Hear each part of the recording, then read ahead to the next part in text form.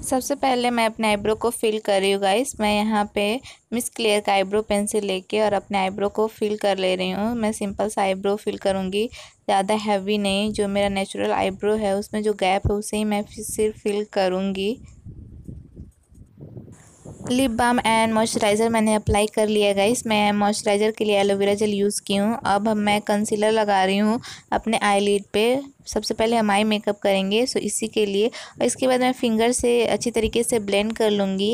ये ब्रश से या ब्यूटी ब्लेंडर से ब्लेंड नहीं होता है गाइस ये एन वाई वे का कंसीलर है और काफ़ी अच्छा कंसीलर है बट ये है कि ये ब्लेंड नहीं होता है ब्यूटी ब्लेंडर से या ब्रश से। और उसको मैं सेट कर लूँगी लेकमी का लूज रोज़ पाउडर है जो उससे। और फिर मैं एज अ ट्रांजेक्शन शेड इस कलर का यूज़ कर रही हूँ अपने क्रीज पे। और इसे अच्छी तरीके से ब्लेंड कर लूँगी एक ब्लेंडिंग ब्रश के हेल्प से। ब्लेंडिंग अच्छी तरीके से करे गाइस उसके बाद मैं एक ब्राउन सा सेड लेके उसके ऊपर लगाऊँगी, जहाँ पे मैंने एक पिंकी सा सेड लगाया था. सेम उसी के ऊपर मैं ब्लेंड करती जाऊँगी. और फिर उसके बाद मैं एक ब्लैक कलर का सेड लेके लगाऊँगी. उसे भी मैं अपने आईलिड पे ब्लेंड करूँगी. अच्छी तरीके से. ब्लेंड जितना अच्छे से करेंगे आई मेकअप उतना ही अच्छा से होगा गाइस तो मैं उसे ब्लेंड कर लूँगी। और मैंने ब्लेंड कर लिया गाइस और इसके बाद मैं ये वाला शेड लूँगी। ये है एकदम मैरूनी सा शेड बहुत ब्यूटीफुल शेड है गाइस इसे बस मैं अपने आईलिड पे लेके प्रेस कर दूँगी। और इस तरह से हमारा आई मेकअप हो जाएगा। फिर मैं इसे ब्लेंड कर लूँगी। अभी आई मेकअप कंप्लीट नहीं हुआ गाइस तो इसे मैं अपने फिंगर से लेके पूरे अपने आईलिड पे अच्छी तरीके से अप्लाई कर लूँगी। फिर एक ब्लेंडिंग ब्रश से के हेल्प से इसे ब्लेंड कर दूँगी ताकि कोई हार्स एचेस ना रह जाए। और मैंने लगा लिया, अब जो भी फॉल आउट हुआ है, एक मेकअप वाइप से इसे रिमूव कर ले। और आईलाइनर के लिए मैं यहाँ पे ब्लू हेवेंस का आईलाइनर लगा रही हूँ गाइस और इसे मैं यहाँ पे सिंपल सा विंग लाइन क्रिएट करूँगी।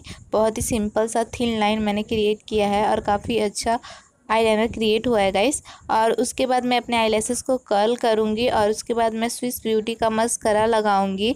मैं जो भी प्रोडक्ट यूज़ करूँगी, मैं लिंक डिस लिंक डिस्क्रिप्शन बॉक्स में दे दूँगी या फिर डिटेल्स में सब बता दूँगी। लिंक तो पॉसिबल नहीं होगा गाइस तो इसीलिए मैंने मस्करा लगा लिया गाइस अब हम फेस मेकअप की तरफ़ चलते हैं। तो सबसे पहले मैं प्राइमर लगा रही हूँ एन वाई बे का प्राइमर और इसे अपने पूरे फेस पे लगा लूँगी गाइस और इसके बाद हम फाउंडेशन लगाएँगे।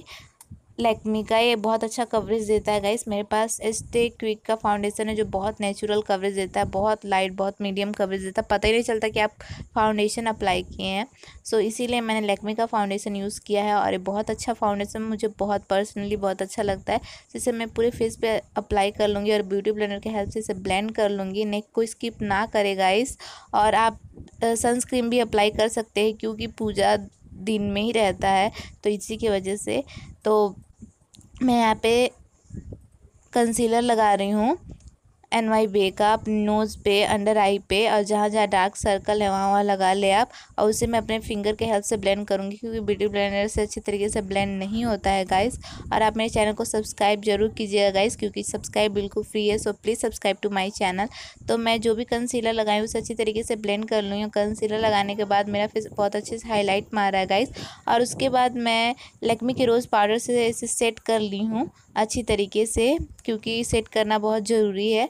और उसके बाद हम अपने फेस को कंटोर करेंगे। तो मैं जैकलिन हिल पैलेट से आई है, उसी से मैं एक कंटोर सेट लेके अपने फेस को कंटोर कर रही हूँ। चिक को फोर हेड को एंड ज़ोर लाइन को, और फिर मैं नोज़ को भी अच्छी तरीके से कंटोर करूँगी। एक पेंसिल ब्रश के हेल्प से। इस टाइप के ब्रश से अच्छी तरीके से आपका कंटूर हो जाता है नोज़ और उसके बाद मैं ब्यूटी ब्लेंडर के हेल्प से ब्लेंड कर लूँगी। आप चाहे तो फिंगर का भी हेल्प ले सकते हैं। और उसके बाद हम लगाएँगे काजल। तो मैं यहाँ पे एन वाई बे का काजल लगा रही हूँ गाइस और काजल थोड़ा सा लगाने में प्रॉब्लम हो जाता है मुझे एक हाथ से। और उसके बाद मैं सेम आई साइडो लेके जो मैं अपने लीड आई लीड पर लगाई हूँ वही आई साइडो लेके मैं अपने लोअर लेस लाइन पर लगाऊँगी। अच्छा लुक आए और उसके बाद मैं लोअर लैस लाइन पे मस्करा अप्लाई कर लूँगी गाइस और फिर हम ब्लश लगाएँगे तो मेरा तो ब्लश टूट गया है गाइस तो मैं यहाँ पे हिलारी हुड्डा के पैलेट से ब्लश लगा रही हूँ, आपने देखा है बहुत बार तो उसी से मैं ब्लश लगा ले रही हूँ, और इसके बाद हम हाइलाइटर लगाएँगे तो हाइलाइटर के लिए मैं यहाँ पे वेट एंड वाइट का हाइलाइटर ले रही हूँ, अपने चिक को नोज़ को क्यूपी बोन्स एंड चिन को हाईलाइट कर लूँगी, और अपने आईब्रो को भी, अपने ब्राबोन को भी हाईलाइट कर लूँगी। और अपने इनर कॉर्नर को भी हाईलाइट कर लूँगी गाइस और हाईलाइट करने से आपका फेस बहुत अच्छा लगता है तो हाईलाइट आप ज़रूर करें। और फिर मैं लिपस्टिक के लिए हुडा ब्यूटी का लिपस्टिक यूज़ कर रही हूँ और मेरा सेट एकदम रेड, क्योंकि रेड इसलिए मैंने लिपस्टिक लगाया क्योंकि ये सुहागन लोग का त्यौहार है तो रेड बहुत अच्छा लगता है गाइस इसीलिए उसके बाद मैं यहाँ पे मेकअप सेटिंग स्प्रे से अपने मेकअप को सेट कर ले रही हूँ, ताकि मेकअप हमारा लॉन्ग लास्टिंग रहे।